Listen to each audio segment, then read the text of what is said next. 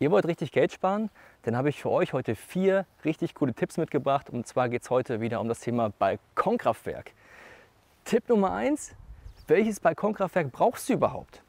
Wir haben hier Cooles dabei, das zeigen wir euch gleich im Anschluss. Tipp Nummer zwei: Wie wähle ich den richtigen Standort? Auch das ist nicht zu unterschätzen, Leute. Ja? Sprechen wir auch drüber. Tipp Nummer drei: Reichen meine Kabel? Sind die lang genug? Habe ich die richtige Steckdose? Wo gehe ich überhaupt dran mit meinem Balkonkraftwerk? Das sind heute spannende Themen, die euch sicherlich gefallen werden. Und der allerbeste Tipp zum Schluss, wie kann ich nochmal Geld sparen? Das ist auch möglich und zwar nicht nur durch Erträge, sondern auch durch das Balkonkraftwerk, das ich nicht nur kaufe, sondern vielleicht auch irgendwo einreichen kann. Und wie das funktioniert, zeigen wir euch nach dem Intro. Viel Spaß mit der Folge. Aber falls noch nicht geschehen, dann diesen Kanal jetzt abonnieren, die Glocke aktivieren, um keine weitere Folge mehr zu verpassen. Vielen Dank für deine Unterstützung.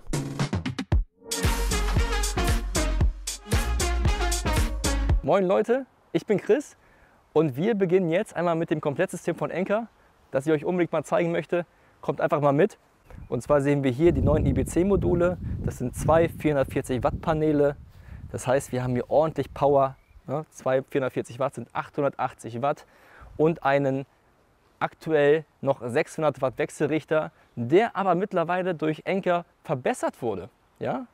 Ihr habt sicherlich gemerkt, wir gehen in Richtung 800 Watt, heißt auch, dass Enker nachsteuern musste und in der aktuellen Version, die ihr online im Shop bekommt, bekommt ihr schon die upgradefähige Version auf 800 Watt. Richtig cool. Jetzt zeige ich euch hier einmal die Neigungshalterung die könnt ihr einmal einstellen. Hier unten könnt ihr einmal die Winkel einstellen, einmal von 35, 40 bis 45 Grad. Das ist ein einfaches System, sowohl einfach möglich im Garten aufzustellen, sowie an einem Geländer aufzuhängen. Ja, da sind noch Halterungen dabei, das funktioniert 1A. Wie wir das aufgebaut haben, haben wir euch im letzten Video gezeigt. Heute schließen wir das Ganze mal an. Da freue ich mich schon drauf und ich bin echt gespannt, ob das Ganze so funktioniert, wie wir uns das vorstellen. Dafür haben wir schon mal bereitgelegt einmal die vier MC4-Kabel. Der Wechselrichter, komm mal her, ist auch schon montiert, einmal an der Neigungshalterung. Ne, da ist Enker wirklich Weltklasse, dass die das hier so gut umgesetzt haben. Und ich muss sagen, die Neigungshalterung ist auch von sehr guter Qualität. Das hält alles. Muss ich auch sagen, ist TÜV Rheinland zertifiziert. Ja, auch gegen Windstöße, gegen Windstufe 8 ne, geprüft und wie gesagt zertifiziert. Hier haben wir einmal die Möglichkeiten jetzt hier über die MC4 Solarkabel an die Stecker ranzugehen. Das mache ich jetzt auch einfach mal. Das gehört. Geklickt. Das ist sehr einfach. Und das Schöne ist, das wird alles so ab Werk geliefert. Da müsst ihr euch keine Gedanken machen, ob das alles passt Oh. So, der ist auch dran. Jetzt gehen wir hier mit den beiden Kabeln einmal an den Wechselrichter ran. Wie gesagt, derzeit hier noch der 600 Watt Wechselrichter im Shop. Mittlerweile der upgradefähige. Klick, klick. Wenn wir uns noch mal die Neigungshalterung angucken, dann fällt uns hier gerade auf, dass wir die unterschiedlich angewinkelt haben. Das obliegt natürlich euch. Ne? Wo ihr wohnt, gibt es natürlich verschiedene Möglichkeiten, wie die Sonneneinstrahlung ist. Wir hier im Norden präferieren so 35 Grad ungefähr. Ja. Und deshalb haben wir hier einmal dargestellt die 35 Grad. Hier sogar ein bisschen extremer 45 Grad. Es muss nicht immer schwierig sein, mit so einem Komplettsystem erschlagt ihr natürlich gleich alle Probleme auf einmal. Ihr habt die Kabel dabei, ihr habt einen abgestimmten Wechselrichter auf die Module. Das darf man nicht vergessen. Nicht jedes Modul passt unbedingt zu jedem Wechselrichter. Schaut einfach mal so ein paar andere YouTube-Videos. Es gibt viele Leute, die darüber berichten und auch Experten, die darüber erzählen. Ich bin jetzt nicht unbedingt der Experte, ich habe auch ein bisschen Erfahrung jetzt mittlerweile. Aber dieses System hier ist zu 100% aufeinander abgestimmt. Und wenn wir uns nochmal die Module anschauen, diese IBC-Module, das ist wirklich das Neueste vom Neuesten. Ja, das sind Module, die 10% mehr leisten. Sicherlich habt ihr hier gesehen, dass das Raster entfällt. Ihr kennt diese Standardmodule, die ihr auf den Dächern überall seht in der Nachbarschaft.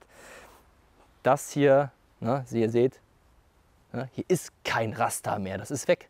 Ja, heißt auch bei schlechterem Wetter oder im Winter, im Herbst habt ihr 10% mehr Leistung. Das ist schon ziemlich viel. So, ich habe jetzt hier einmal ein 5 Meter langes AC-Kabel. Heißt, ich gehe damit jetzt mal an den Wechselrichter ran. Klick. Das Lämpchen hier fängt jetzt an zu blinken. Das heißt, dass das Netz synchronisiert wird. Jetzt wechselt ihr einmal an die App, die ihr euch zuvor einmal runterladen müsst.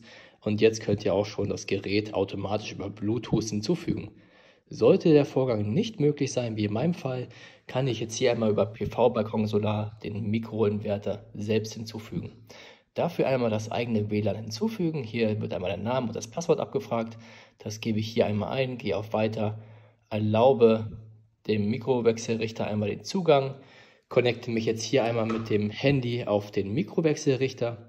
Das wird mich auch nochmal dargestellt, welche Schritte ich hier einhalten muss. Ganz wichtig, noch nicht den AC-Stecker in die Stromversorgung anschließen.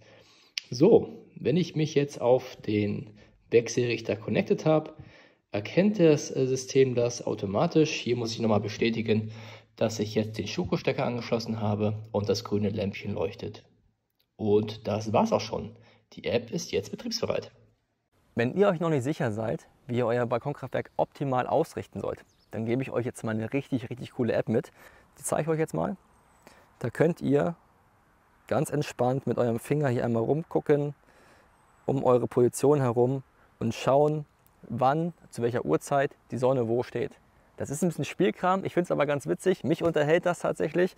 Und wenn ihr jetzt mal drüber nachdenkt, tagsüber seid ihr ja gar nicht da und vielleicht erst zu späterer Stunde, wo steht die Sonne um 17 Uhr oder um 18 Uhr? Hm, drehe ich die Paneele vielleicht ein bisschen mehr in die Richtung. Wir haben hier im Garten ausgerichtet die Module derzeit in eine Süd-West-Ausrichtung. Das ist für meine Zwecke sehr sinnvoll, weil ich dadurch die meisten Erträge bekomme. Nicht zu unterschätzen, die Jahreszeiten, später im Jahr steht die Sonne tiefer, Leute. Das heißt, ihr müsst die Balkonkraftwerke, also die Module, ein bisschen weiter anwinkeln. Ja? Das hat natürlich auch folgenden Vorteil. Der ganze Schmutz läuft da erstmal so runter und ihr habt diese Selbstreinigungsfunktion. In diesem Komplettset befindet sich ein 5 Meter Schuko-Kabel. Das ist für meine Zwecke wirklich gut geeignet und ausreichend, weil ich habe hier draußen überall Steckdosen. Aber macht euch wirklich Gedanken, bevor ihr euch ein Balkonkraftwerk anlegt, wo sind eure Zuleitungen? Wollt ihr das Balkonkraftwerk vielleicht an eurem Balkon aufhängen? Dann braucht ihr draußen eine Steckdose. Durch das Fenster wird es ein bisschen blöd. Also denkt drüber nach, ob das sinnvoll ist. Wenn ihr es im Garten montiert, ne, guckt, wo habt ihr eure Außensteckdosen. Ansonsten kümmert euch darum, dass ein Elektriker das nachrüstet. Ich kann es nur empfehlen. Wir haben hier einen namhaften Hersteller. Enker spricht für Qualität. Und egal, was ihr mit euren Komponenten habt, ihr habt auf alles Garantie. 10 Jahre auf den Wechselrichter, 15 Jahre auf die Module. Ihr habt eine 88,8%ige Leistungsgarantie für 30 Jahre. Die bekommt ihr nirgends anders. Das ist so. Das kostet alles ein bisschen mehr Geld, das ist klar, aber ihr habt hier eine tolle Qualität. Und wenn ihr Probleme habt mit eurem Equipment, Einzelteilen, Zubehör, dann könnt ihr Enker kontaktieren und müsst nicht schauen, wie ihr irgendjemanden hier von euren anderen Modulen oder Wechselrichtern in die Leitung bekommt. Weil ich sage euch, das ist unmöglich. Nochmal zusammengefasst, wir haben hier zwei Neigungshalterungen, die ließen sich ziemlich leicht aufbauen. Da ist Werkzeug mit dabei, ihr braucht euch nichts dazu besorgen. Wie ich das gemacht habe, habe ich schon mal in einem Video gezeigt, schaut es euch gerne nochmal an. Zwei Hochleistungsmodule, ein 600 Watt Wechselrichter, aktuell im Shop upgradefähig auf 800 Watt, saustark genügend Kabel. Ne? Anderthalb Meter Solarkabel, viermal mit dabei. Ne? Die MC4-Stecker sind auch alles schon gekrimmt, das ist alles fertig, super toll. Und 5 Meter AC-Kabel. Also dieses Set bietet wirklich viele Möglichkeiten der Anbringung. Das Konzept ist wirklich sehr gut durchdacht. Tipp Nummer 4. Förderungsmaßnahme. Ihr habt die Möglichkeit, Geld zurückzubekommen. Das heißt, ihr kauft das Balkonkraftwerk, reicht das Ganze bei eurer Gemeinde ein, bei eurer Stadt und bekommt Geld zurück. Und welche Städte das genau mitmachen, das könnt ihr noch mal gucken und zwar unter enker.com Förderungsprogramm. Verlinke ich euch gerne noch mal in den Show Notes. Schaut einfach mal rein, für wen es sich lohnt. Und dann ist das hier gar nicht mehr so teuer. Also viel Spaß mit eurem Balkonkraftwerk. Es hat mich wieder gefreut, dass ihr dabei wart. Schaut gerne bei unseren Videos rein. Gerne auf viermänner.com, wenn ihr Interesse an Balkonkraftwerken habt. In diesem Sinne, macht's gut. Euer Chris, haut rein. Ciao.